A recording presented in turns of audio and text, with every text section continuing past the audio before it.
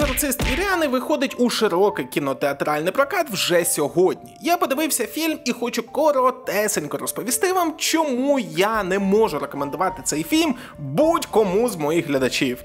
Поїхали! Крови плоть! Крови плоть! Кетрін, Крови плоть! Кров і плоть! Сюжет картини продовжує оригінальну історію екзорциста 1973 року.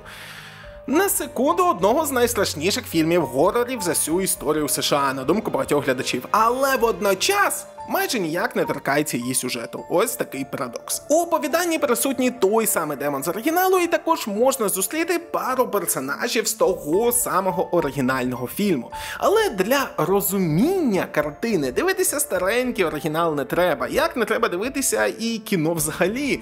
Бо якщо ви любите ці самі фільми, та не дай Боже ще й фанат горорів, то цей фільм ви точно не зрозумієте. Не зрозумієте, якого дідька так погано можна знімати фільми у 2023 році.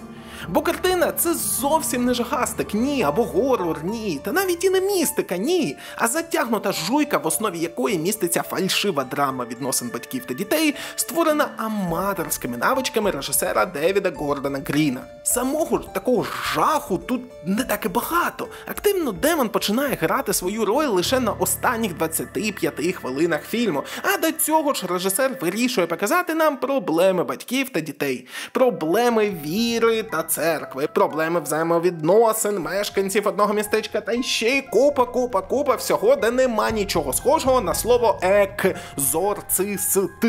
Взагалі нічого.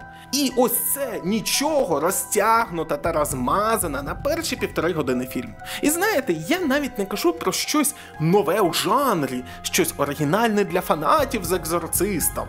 Ні, та навіть не кажу нічого цікавого для фільму 2023 року. Ні, я кажу про банальні речі. У фільмі нехаризматичні та погано граючі головні герої. Окрім крінжа та фейспалма, ці люди не можуть викликати нічого іншого про перегляді цієї історії.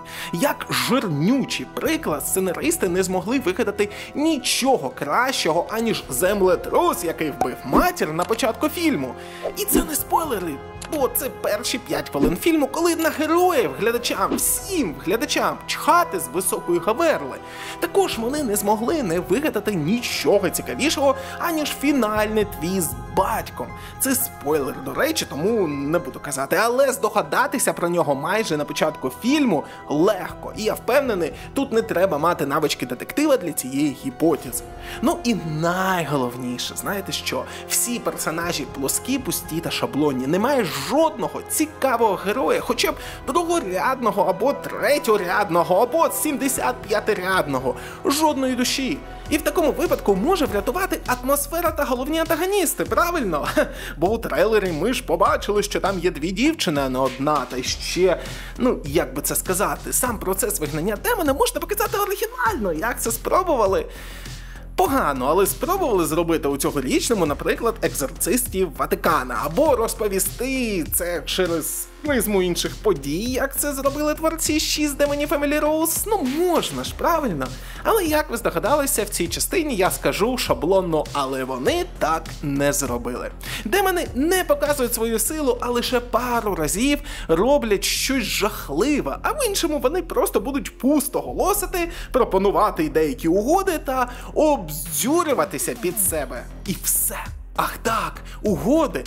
Тут мене бомбануло. Скажу так, фільм ідеальний приклад максимально нелогічного сценарію, де Deus Ex Machina просто розміром з родину мати, а талант писаки сценарію цього фільму розміром з член Путіна. Але спойлерити я все ж таки не хочу, бо я нормальний ютубер. Скажу лише, що фінал наступає несподівано, немає зв'язку з фільмом взагалі, і до цього ніяк не тізериться протягом картини режисерами, сценаристами або акторами, хоч кимось. Як і прийміть, будь ласка, те, що жодного камінця я дати фільму не можу, бо продюсери та режисери навіть навіть не змогли використати правильно головний трек першої частини цього легендарного фільму, який, до речі, й досі може викликати у когось страшні флешбеки та зробити так, щоб волосся стало дибки. Але ні, усього два рази звукорежисер додає цей трек у фільм, і все, гуляйте.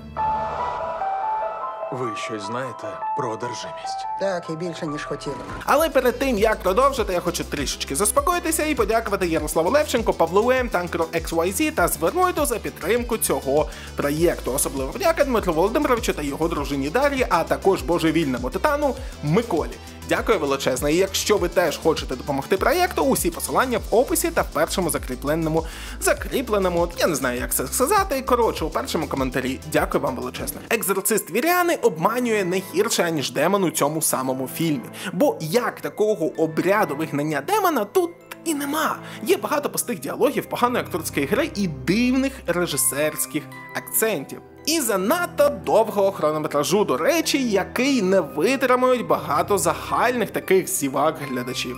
Фільм не лякає, не створює напругу та не робить найголовніше не дивує, як це робила перша частина майже 50 років тому. Це нікому не потрібний фільм, який забувається ще до настання фінальних титрів. Сумно, але такий факт, на мою особисту думку. Але якщо ж ви мені не вірите і не довіряєте моєму смаку, будь ласка, можете йти у кіно. Головне, будь ласка, не дивіться в очі демону та не читайте там нічого на латині. Будь ласка.